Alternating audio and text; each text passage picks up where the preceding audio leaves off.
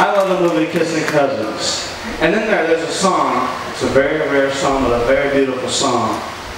And it goes a little something like this. I think you're going to like it.